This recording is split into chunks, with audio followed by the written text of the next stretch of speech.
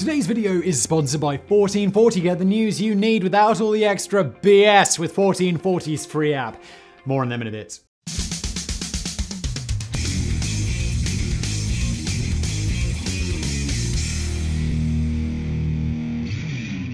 Hello everybody, welcome back to another episode of Mega Projects and another episode about a wall, because of the things I could have predicted content-wise on Mega Projects, I'd never be like, you know what's going to be a big hit, Simon? Walls, covering all of the walls. So today we are covering the Antonine Wall, the other great Roman wall. Let's jump in, shall we? In the 2nd century AD, the land beyond the boundary of the most northerly point of the Roman Empire was an area where even the all-conquering legions had failed to subdue. It was here that the Romans who had systematically crushed all resistance before them finally met their match and chose to focus on the defensive rather than the offensive. A great wall was built that stretched across Great Britain, which came to be known as Hadrian's Wall. Designed to keep the tribes to the north out of the Roman Empire, it was broadly successful, but just 20 years after its completion, Roman legions again marched north intending to build a second wall and this is the story of that second wall. The Antonine Wall's fame pales in comparison to its more illustrious brother to the south. If Hadrian's Wall is Alec Baldwin, the Antonine Wall is Daniel Baldwin.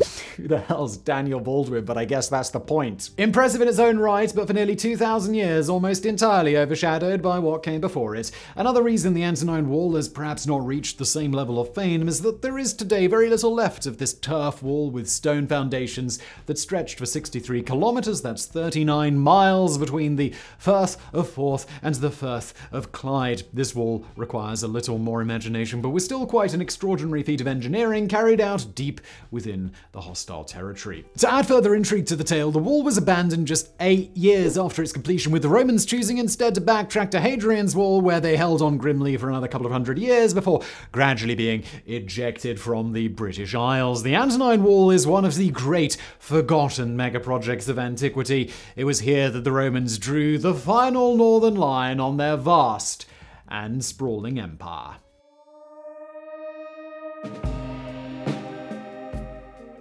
Firstly, we've recently done videos on Hadrian's Wall and the Roman Empire itself, so if you're in a particularly Roman mood today, well, you know what comes next. Maybe lie back, eat some grapes, and watch our Roman videos. Is that that's such a stereotype? It's like the, the Roman dude eating the grapes on the like couch with the thing at the end. Anyway, the Romans first arrived on the British shores in 55 BC, the first of two invasions by Julius Caesar, the second of which came the following year. While the British were defeated and a puppet ruler installed, the Romans didn't stay. And it wasn't until 43 AD that Emperor Claudius instructed his legions to invade and bring Britain and its ragtag band of tribes under the yoke of Roman rule. The conquest of Britain was a bloody 40 year campaign, which was effectively concluded in 87 AD. Up to a quarter of a million Britons died during this period, meaning that potentially an eighth of Britain's 2 million inhabitants became victims of Roman expansion. But even for the legendary legions, there were limits, and that limit was Caledonia. The name Caledonia was used to describe the land north of the River Forth in what is present day Scotland. Now, if you've ever trekked into the Scottish Highlands on a grey, misty day, I have, then you might understand why the Romans threw their hands up in desperation and announced satis, which is Latin for enough. Satis, Caledonia, satis! As the English were to discover well over a thousand years later, conquering Caledonia and its people is no easy task.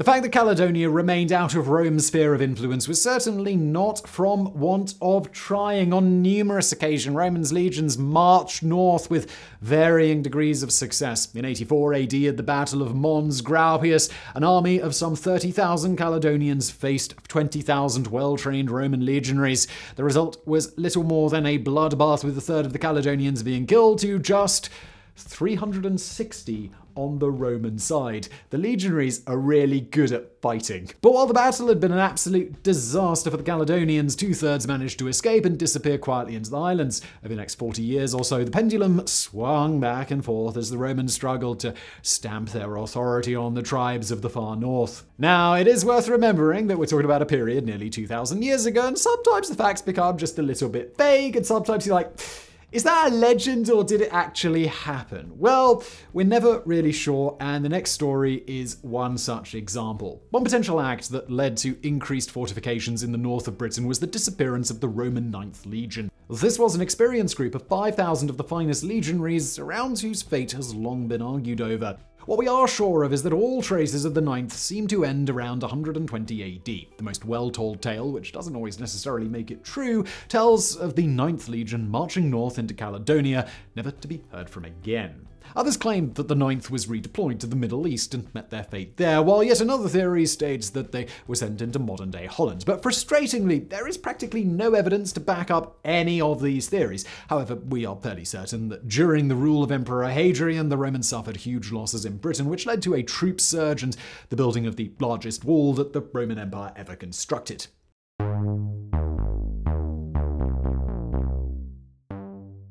Look, as mentioned, we already have a video on this particular wall, so I'm not going to go into too much detail on it right here. Construction began on Hadrian's Wall in 122 AD and took six years to complete. It was 117.5 kilometers, that's 73 miles long, and linked Wallsends in the east to Bowness on Solway in the west. While the wall's primary role was to certainly act as a border barrier, it most likely was also used to regulate those coming and going, and no doubt collected customs fees from those wishing to buy or sell within the Roman Empire. Hadrian's Wall was finished in 128 AD, and first appeared to act as the final marker of the Roman Empire to the north. We have to speculate here as we have no concrete information of what went on between the completion of Hadrian's Wall and the start of the Antonine Wall, a period of less than 20 years. What is certain is that Emperor Hadrian was succeeded by Emperor Antonius, and we can probably assume that things were far from quiet on the northern front. Another theory is that the new emperor wanted to simply boost his political standing back in Rome, and the nagging issue of Britain perhaps gave him exactly the kind of excuse that he needed to order his troops north.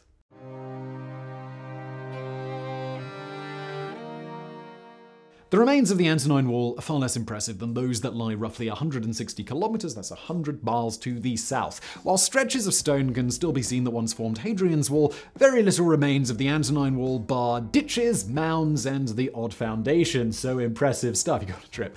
Hey, wow, we're going to visit the Antonine Wall. That is a ditch. The man tasked with building the Antonine Wall was Roman general Quintus Lollius Urbicus. Something brilliant about Roman names, isn't there? Lololus. The location between the Firth of Forth and the Firth of Clyde was almost certainly chosen because it was the shortest distance between the North Sea and the Irish Sea, and would probably have cut through pre existing tribal boundaries, presumably with scant regard for those it now divided. Lazy Romans choosing the shortest distance. Lazy! Now, speaking of being divided, how about a word from today's video sponsor 1440? They want to cut through the BS and totally revolutionize the way that you get the news. Chances are you fall into one of three categories. You might get your news from social media, or perhaps spend way too much time watching sensationalized cable news, or maybe you just don't pay attention to it at all. It's hard to figure out which one of those is worse. These days, it's harder than ever to find a news source that will just tell you the facts and leave their opinions out out of it. Fortunately, there's 1440, which wants to be your all in one source of impartial, quickly digestible news. It's easy to sign up for, also totally free. If you keep a busy schedule like me, it can be hard to find the time to dedicate to current events. But with 1440's easy news blurbs, you can quickly get the info you need in just a few minutes over breakfast or maybe while you're commuting to work, assuming you don't drive. If you're really in a rush, just stick to the primary news section. If you've got a bit more time, why not wade into secondary categories like sport, business, science, and more? Best of all, it is just the news. All filler, no killer, no clickbait, no spin. They give you the facts and then they allow you to form your own opinion. It sounds ridiculous, but it's actually a novel idea in today's news world. So get informed without all the BS today, click the link in the description below or go to join14401440.com forward slash mega projects and subscribe to 1440 for free today. Again, join1440.com forward slash mega projects and let's get back to the video.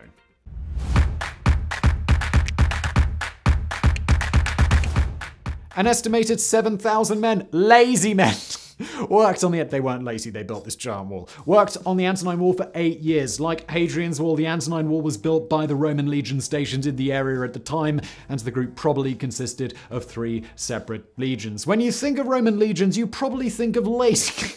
Not really. When you think of Roman legions, you probably think of clinical, deadly warriors and their famous tortoise formation that was often used to approach enemy structures. But a Roman legion was far more than just expert swordsmen. It typically traveled with its own surveyors, engineers, masons, joiners, and laborers who were rather adept at throwing together bridges or roads at short notice. These men would have camped in leather tents or temporary huts within small compounds constructed along the route. Considering that this construction project was deep inside enemy territory, it's kind of impossible to believe that the legions not only built the wall, but also constantly defended themselves while building it. The Antonine Wall was far less imposing than its bigger brother to the south and was formed of a bank of turf almost 3 meters, that's about 10 feet high, and 4 meters, 13 feet wide. This was built over stone foundations about the same width, and this would have helped with drainage and stability. Around 20 separate layers of turf were then added on top of one another that would have brought up the wall to its full height.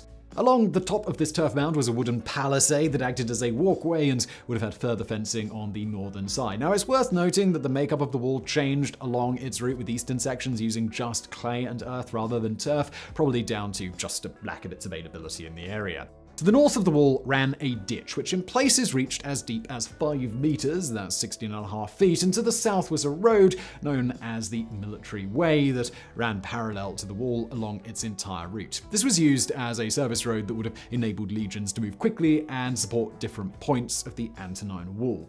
Now, this wall was marked by distance slabs, which either gave distances, as you might have expected, but also with a ceremonial role. 20 of these slabs still actually survive to today, the most famous being the Bridgeness slab, which was created to mark the completion of the wall and includes the passage. For the Emperor Caesar, Titus, Aelius, Hadrianus, Antonius, Augustus, Pius, father of his country, the Second Augustan Legion completed the wall over a distance of 4,652 paces. This slab also includes the depiction of Britons being trampled and killed by Roman cavalrymen, just in case there was any doubt over the Roman mandate in the region at the time.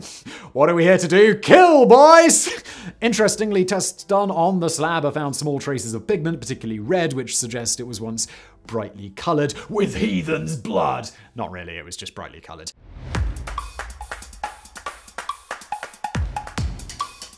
Originally, the Romans had planned to build a fort every 10 kilometers, that's every 6 miles, but this quickly changed to every 3.3 kilometers or 2 miles, probably due to the threat of tribal attacks. All of these forts were constructed using local sandstone where available, and would have the typical red tiles on the roof, which were common in the Roman Empire at the time. Very little remains of these forts today, with the Rough Castle Fort 2 kilometers, 1.2 miles southeast of Bonnybridge, the best preserved one. This was the second smallest of the forts and had an area area of roughly 4,000 square meters, or about 43,000 square feet.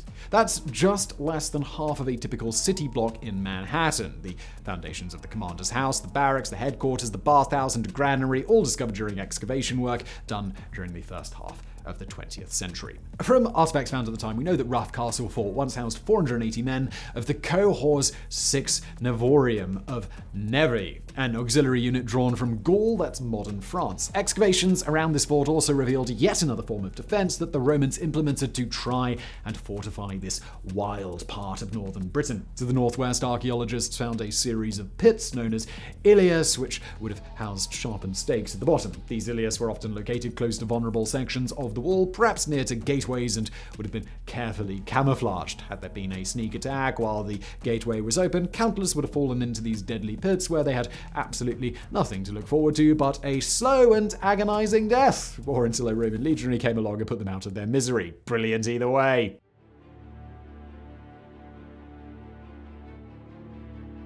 If the Antonine Wall was supposed to cement Rome's power in the north, it actually did the opposite. Again, we need to speculate a little bit here, but most likely the new turf war came under withering attack from the Caledonians. We know that the Romans eventually and voluntarily retreated to Hadrian's Wall around 160 AD, and to push the might of Rome back, it must have been quite an onslaught. I've used the word voluntarily there, but it may well have gotten to the point that they simply had no choice, and there have been tales of the Antonine Wall being overrun, but it's far from clear. Emperor Antonius's plan of pacifying the north had backfired spectacularly, and his successor, Marcus Aurelius, almost immediately reverted to using Hadrian's Wall as the northern extremity of the empire. Over time, it became clear that perhaps the entire wall construction and surging to the north was little more than an attempt at securing a military triumph to boost Antonius's reputation back in Rome. It certainly wouldn't have been the first time a Roman emperor chose personal triumph over pragmatism, but in this case, he gained little from the construction of the Antonine Now, if you think that the Caledonians in this area lived happily ever after after this point, then think Again, countless more incursions north took place as the Romans time and time again attempted to break the will of those who simply refused to bow to Rome. But again and again, the Romans retreated. By the 3rd century, Rome's power was waning, and raiding parties now poured south past Hadrian's Wall to take advantage of an empire in its final death throes. Rome retaliated, but the end was nigh. In 383 AD, Roman legions began leaving Britain, and by 410 AD, Rome's rule over Britain had all but ended. By that point, the area around the Antonine Wall had long been free of the tyranny of the Latin would be rulers, and the wall itself had already begun to decay. The memory of the stubborn attempt of Rome to suppress the people of Caledonia was quickly fading, and over time, this impressive turf wall quietly withered away, leaving only mounds and ditches where the great Roman frontier once stood. So I really hope you found that video about a wall interesting. It's maybe the third or fourth wall we've covered here on Mega Projects. If you've got more wall suggestions, let me know in the comments below, and as always, thank you for watching.